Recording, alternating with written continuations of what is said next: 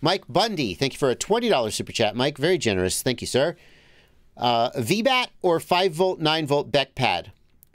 02, 03, Walk Snail, HDZero. Um, so not 5 volts. None of those video transmitters will run on 5 volts. Uh, I guess the Walksnail 1S VTX would run on 5 volts. So if you have the Walksnail 1S VTX, use 5 volts. Don't use VBAT. Unless it's a 1S quad, in which case use VBAT. Um, are you with me?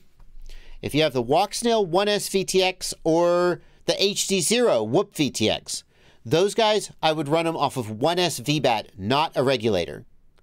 Because those guys are designed to run I think between 3.3 and 5 volts.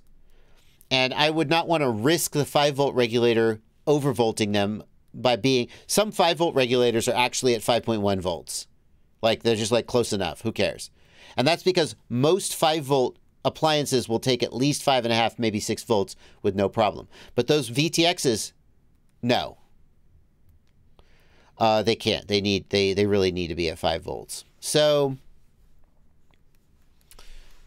uh, other than those 1S VTXs, I would run off a 9 volt BEC because it's going to give you cleaner power.